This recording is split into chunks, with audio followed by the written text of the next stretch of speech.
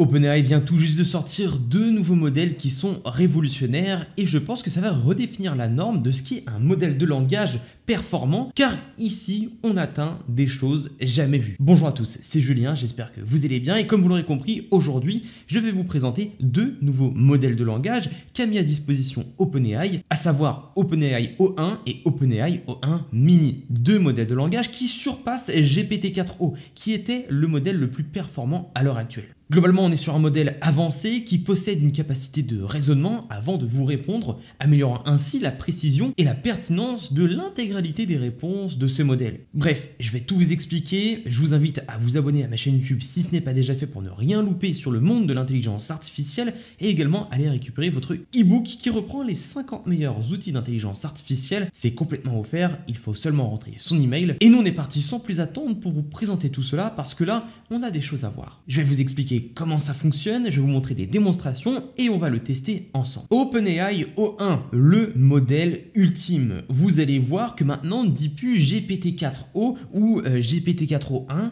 non, ici on l'appelle OpenAI O1. Là où le dernier modèle de langage s'appelait GPT-4o, le O voulait dire tout simplement omnimodal. Et d'ailleurs, c'était le meilleur modèle de langage tout confondu, supérieur sur tous les points à GPT-4, mais vous allez voir qu'ils ont fait encore plus fort en sortant ces deux nouveaux modèles. Si vous êtes abonné à ChatGPT, eh bien, vous pouvez avoir accès à ces deux nouveaux modèles, à savoir O1 Preview et O1 Mini. Et on les appelle du coup les modèles OpenAI O1 et OpenAI O1 Mini. Sachez cependant que la version O1 Preview qu'on pourra avoir accès ne reflète pas l'intégralité des capacités et des raisonnements que pourra avoir le modèle final OpenAI O1. Tandis que son petit frère OpenAI O1 Mini, lui, sera beaucoup plus économe et beaucoup plus efficient. Avec moins de ressources, il produira une réponse tout aussi pertinente. Mais globalement, pour vous montrer un petit peu ce qu'est OpenAI O1, voici quelques chiffres. On atteint un score euh, de MMLU réussi à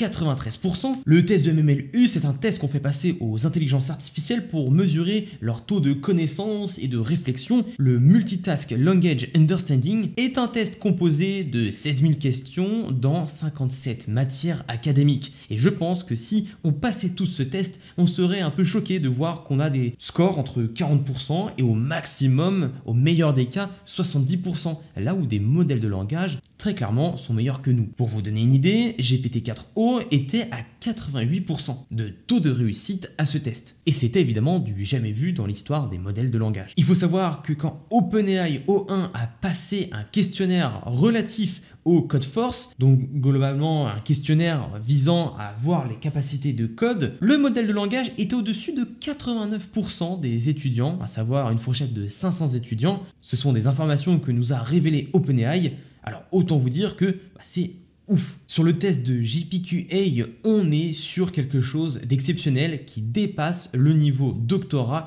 Donc il faut savoir que ça reste dans le domaine de la biologie, de la physique, chimie. Et OpenAI a également fait passer quelques tests, à savoir l'examen de qualification pour l'Olympiade internationale de mathématiques, IMO, là où GPT-4o avait seulement 13%, GPT-4 OpenAI O1 atteint 83%. Une augmentation de 70%, ce qui est complètement fou. Et je vais y revenir, mais sachez qu'en termes de coût, OpenAI O1 Mini est 80% moins cher que O1 Preview, ce qui est énorme. Hein. Ça fait une énorme différence, vous allez voir que les modèles sont quand même assez chers. Mais du coup, on retient trois points forts de ces deux nouveaux modèles, à savoir les sciences, le code et les mathématiques. Et ça, on va le voir tout au long de cette vidéo. Mais avant d'aller plus loin, si on analyse un petit peu les tests qui ont été passés par OpenAI concernant ce modèle, on peut retrouver d'abord eh les résultats qu'on a eu sur la compétition en mathématiques, enfin l'examen de qualification, là où GPT-4o avait 13%, on a clairement 83% avec OpenAI O1. Et vous le voyez comme moi, il y a un entre-deux, donc c'est la version O1 Preview, version qu'on aura accès dès aujourd'hui. Donc c'est pour ça que je vous dis que ce que vous allez tester chez vous et même ici, ce ne sera pas les capacités maximales de ce que nous annonce OpenAI. Pareil pour CodeForce, hein. là en termes de code également on fait un énorme bond, on peut voir qu'on passe de 11% avec GPT-4o à 89% avec OpenAI O1. Ce qui va être également intéressant, ça va être ces différents tests, où est-ce qu'on retrouvera le test de MMLU qu'on voit ici, on peut voir que OpenAI O1 est 4% meilleur au test de MMLU que GPT-4o. Dit comme ça, 4% ça paraît pas énorme, mais arrivé à un certain stade, c'est de plus en plus difficile de réduire les erreurs et donc d'augmenter le score même de quelques pourcents. Sachez que tous les acteurs dans le monde de l'intelligence artificielle et plus précisément dans les modèles de langage se battent tous les jours pour augmenter la précision de leur modèle sur ce genre de test. C'est la course à celui qui arrivera à sortir un modèle de langage le plus précis possible. Et ensuite, comme je vous ai dit, hein, sur le JPQA, on est sur une belle augmentation, notamment en physique, passant de 59% à 92%, hein. et globalement, on est en hausse partout. Et sur les différentes catégories du test de MMLU, on peut voir que là où est-ce qu'il y a la plus grande différence, c'est avec les mathématiques en passant de 75% à 98%. Par contre, niveau prix, on est quand même très élevé. Alors je vous conseille d'attendre un petit peu avant de vous ruer sur eh ces modèles de langage pour les mettre en place dans vos automatisations ou encore euh, dans vos applications parce que sachez, mesdames et messieurs, que OpenAI O1 Preview coûte à l'heure actuelle 15 dollars pour 1 million de tokens en input, donc le prompt que vous avez envoyé, et ça coûtera 60 dollars le million de tokens pour l'output, à savoir la sortie, la réponse que vous faire ChatGPT. Là où un mini se démarque avec quelque chose de vraiment très peu cher, hein, avec 3 dollars pour 1 million en input et 12 dollars en output. Mais alors pourquoi ces deux modèles sont si révolutionnaires et comment ils fonctionnent concrètement pour augmenter leur pertinence? Sachez que ça se base sur de la réflexion et ça me fait penser au modèle réflexion, une vidéo sur laquelle j'ai présenté un modèle de langage qui utilisait cette méthode qui allait réfléchir pendant qu'il répondait, qui allait réfléchir avant de vous donner la réponse, améliorant ainsi le taux de pertinence et la précision dans ses réponses. Pour parler un peu technique et prompting, on est clairement sur de la chaîne de on va décortiquer un problème pour mieux y répondre et identifier au passage les erreurs. On appelle cela l'apprentissage par le renforcement. Et OpenAI nous a mis une série et bien d'exemples où est-ce qu'on pouvait voir la réflexion euh, de OpenAI O1 comparé à GPT-4o. Tout se trouvera évidemment en description et moi ce que je vous invite à faire c'est de tout regarder tout lire tranquillement pour bien comprendre. Par exemple ici, ChatGPT a pour but de déchiffrer un langage qui est euh, crypté. Voilà, donc un texte euh, ici, il a un exemple et il a bah, un texte à déchiffrer. Là où GPT-4o va essayer de donner une solution tout de suite, OpenAI O1 va avoir une réflexion. Premièrement, que se passe-t-il ici? On nous donne premièrement un exemple, etc. Il va faire une longue réflexion, comme vous pouvez le voir, en comptant les lettres dans les mots, en calculant tout cela, en essayant d'avoir une vraie réflexion finalement. Un raisonnement très très long qui va mener à une réponse bien plus construite Là où GPT-4o n'arrivait pas à déchiffrer, OpenAI O1 a réussi parce qu'il a eu en amont une réflexion et une décomposition du problème afin d'y arriver et d'identifier la bonne solution.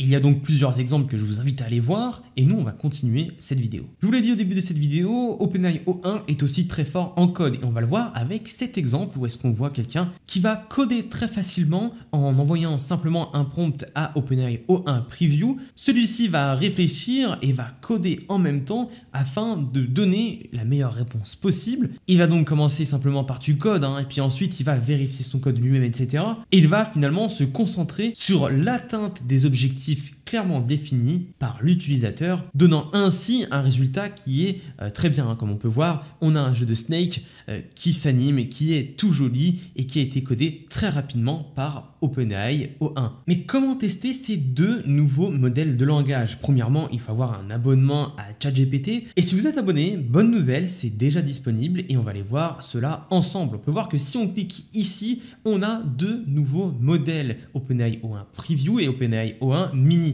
Et on pourra aussi avoir l'ancien modèle GPT-4 et aussi GPT-4o Mini qui va servir pour des petites tâches. On va sélectionner O1 Preview et on va envoyer quelques prompts. Cependant, sachez qu'il y aura une limite de messages entre 20 et 50 messages. C'est pour cela que j'ai voulu attendre avant de commencer à réellement utiliser ces modèles de langage pour le faire avec vous. On commence avec le premier prompt qui est simplement une énigme et qui va faire un peu euh, de référence aux mathématiques où est-ce qu'on va devoir calculer. Alors, on désire construire un château de cartes avec 340 paquets de 32 cartes. Combien d'étages peut-on construire avec ces 340 paquets? On va envoyer ce prompt et là ce qui va être intéressant c'est de voir réflexion en cours. Tout comme on aurait euh, ce genre euh, d'affichage quand on allait faire une recherche sur internet ou du code ou un calcul bien poussé qui va utiliser du code. Hein. Là, on utilise une réflexion. Alors on commence et on peut voir qu'il y a une sacrée réflexion. Je me demande comment construire un château de cartes. Il semble que chaque niveau nécessite un nombre de cartes disposées en formation triangulaire. Intéressant, non? Calculons le nombre de cartes étudier la pyramide, pour cela, résoudre l'équation, calculer la différence, etc., etc. On a donc une réflexion qui a duré 15 secondes et qui va nous produire une réponse. Il a donc trouvé 103 étages, mais la vraie réponse, c'est 85. Je vais donc lui mettre le doute en lui disant « tu es sûr ?» Et là, il va réfléchir à sa réponse. Il a corrigé sa réponse et il a répondu 85, ce qui est la bonne réponse. Maintenant, on va faire quelque chose avec, pareil, un petit problème euh, qui peut vraiment faire réfléchir sur le coup, surtout si on n'a rien pour écrire. Hector, âgé de 43 ans aujourd'hui, apprend que l'espérance de vie dans son pays est actuellement de 78 ans pour les hommes et qu'elle augmente de 2 mois chaque année. Si cette évolution se poursuivait, à quel âge Hector aurait-il atteint l'espérance de vie de son pays? Une réflexion de 5 secondes, le problème a été assez simple à résoudre. Ensuite, on a la réponse complète d'OpenAI qui nous sort la réponse de 85 ans, ce qui est la bonne réponse. Maintenant, j'ai envie de tester quelque chose, un prompt un peu plus simple, mais qui peut demander une certaine réflexion. Rédige un poème sans utiliser la lettre J, T, E et A et on va voir ce que ça donne. La réflexion est assez marrante et prend quand même un petit peu plus de temps que prévu parce que c'est quand même un défi assez compliqué, hein, surtout les lettres E et A qui sont très souvent utilisées. ok, bon, alors là, il s'est vraiment pas foulé. On...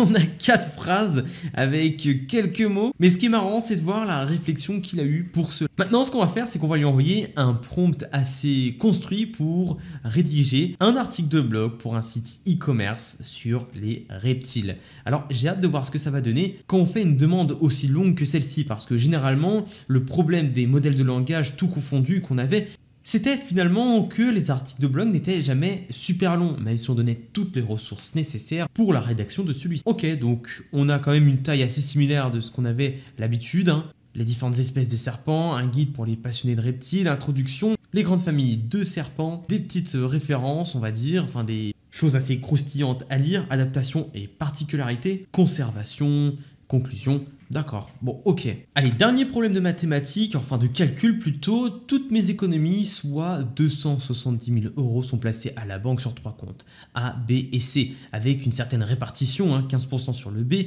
2 tiers sur le A, combien y a-t-il sur le C? Là, la réflexion est très sympa. On peut voir que tout, enfin la plus grosse partie de la réflexion en fait se passe en back-end, en arrière, en coulisses. Une réflexion de 11 secondes qui permet de déterminer ensuite qu'il y a 49 500 euros sur le compte C ce qui est la bonne réponse. Maintenant, je veux faire un jeu de casse-briques et avec beaucoup d'effets d'animation et de couleurs, il y a une réflexion de 13 secondes. Mais ici, c'était plutôt un brief hein, pour euh, bien savoir comment atteindre l'objectif fixé. Et boum, j'ai mon jeu qui était codé. Voici donc ce que ça donne, c'est super fluide, on a des bonnes couleurs comme je voulais et euh, on a des néons, c'est fou, ça marche plutôt bien. Il y a eu une erreur avant d'accéder eh bien, au jeu, ça a été corrigé par OpenAI. Globalement, c'est assez fou, mais je pense que ça, c'est une euh, petite démonstration par rapport à ce qui est capable de faire entièrement OpenAI au 1. Quelque chose d'assez fou, comme vous pouvez le voir. Bref, il faut que je finisse euh, ma vidéo, moi, et mon montage pour que la vidéo sorte à l'heure. Bah, c'est complètement fou. Bon, allez, on est parti pour faire cette conclusion. Alors globalement, on est sur deux nouveaux modèles qui vont révolutionner le monde de l'intelligence artificielle et ça j'en suis sûr. On a une nouvelle méthode qui permet d'introduire de la réflexion avant de vous donner une réponse. Est-ce que cela pourra corriger les hallucinations? Peut-être. Ça peut être l'une des pistes à exploiter pour arriver à faire cela. Bref, je vous invite à aller tester ça par vous-même, à me dire ce que vous avez réussi à faire avec ces deux nouveaux modèles. Prochainement, une vidéo concernant les démonstrations de ce modèle de langage. Abonnez-vous si ce n'est pas déjà fait à ma chaîne YouTube et allez récupérer votre e-book qui reprend les 50 meilleurs outils d'intelligence artificielle à connaître en 2024. Nous on se retrouve à la prochaine pour une nouvelle vidéo, c'était Julien.